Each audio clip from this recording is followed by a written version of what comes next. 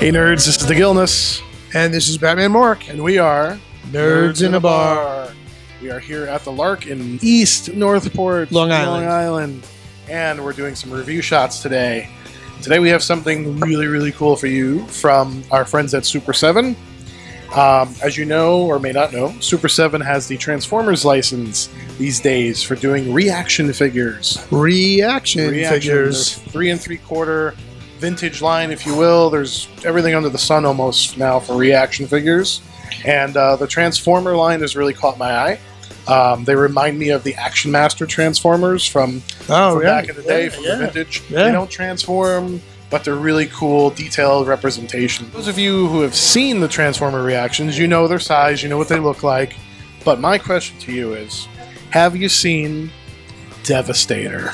The Devastator. Because Devastator is not a three and three quarter inch figure. No, he's not. Devastator is much bigger, and it's been done in that three and three quarter inch style. The five points of articulation, it fits in pretty well with the other uh, reaction figures, and I'll even give you a comparison.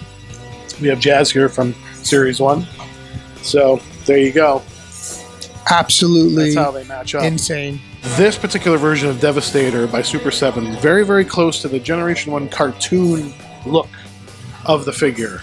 It's a I little, think- it's a little think- blocky because it's the. But that's that's the cartoon style. And that is the cartoon style. I, I think too. they really captured the essence So- of the cartoon. the essence of the cartoon is captured in there, and I think all of the uh, the reactions really do capture that cartoon Generation One cartoon look to it. But for some reason, for me, Devastator just stands out. The beautiful colors, the bright, Oh, absolutely. the bright green, the the purple, That's what grabbed me with the cartoon in the first place. Was the you know the, the fluent really colors. bright cell shaded Yeah. colors.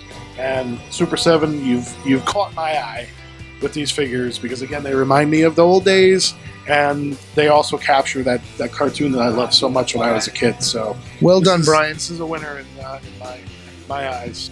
All right, so for Super 7's Reaction Transformers Devastator, I am the Gilness. I am Batman Marc. We are Nerds in a Bar. Good night, everybody. Good night.